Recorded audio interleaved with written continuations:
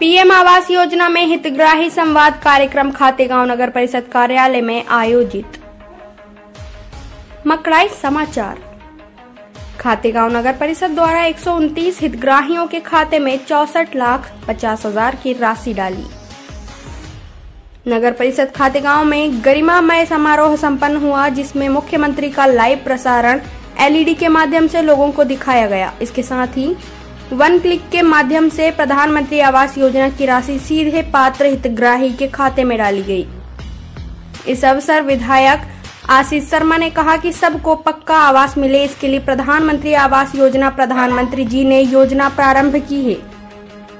आपने कहा कि प्रदेश व केंद्र सरकार गरीबों के कल्याण के लिए प्रतिबद्ध है। उन्होंने प्रधानमंत्री आवास योजना के तहत लाभान्वित होने वाले हितग्राहियों को शुभकामना दी। इस अवसर पर खातेगांव नगर परिषद के सीएमओ अनिल जोशी ने बताया कि कुल एक सौ उनतीस हितग्राहियों के खाते में चौसठ लाख पचास हज़ार रूपए की राशि खातों में अंतरण की गई है। इस अवसर पर अनेक भाजपा नेता, भाजपा पदाधिकारी एवं हितग्राही नगर परिषद स्टाफ मौजूद रहा। खातेगांव तहसील से कैमरा पर्सन अनिल धनगर के साथ सुनील जैन की रिपोर्ट। पंचायत में क्या कार्यक्रम था? सबको पक्का आवास मिले, इसके लिए प्रधानमंत्री आवास योजना माननीय नरेंद्र मोदी जी ने प्रारंभ की थी।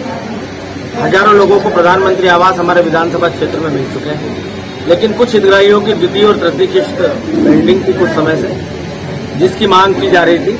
आज वो राशि का अंतरण भी उन हितग्राहियों के खाते में लगभग एक सौ उनतीस हितग्राहियों के खाते में किया गया निश्चित ही उनको जब पैसा मिल चुका है, तब उनका मकान पूर्णता की ओर अग्रसर होगा। और बहुत जल्दी वो अपने पक्के मकान में रहने का सपना साकार कर सकेंगे। इस अवसर पर माननीय प्रधानमंत्री जी और माननीय मुख्यमंत्री जी को पूरे विधानसभा क्षेत्र की ओर से धन्यवाद ज्ञापित करता हूँ कि सिंगल क्लिक के माध्यम से इस राशि का अंतरण उनके खातों में थैंक यू भैया।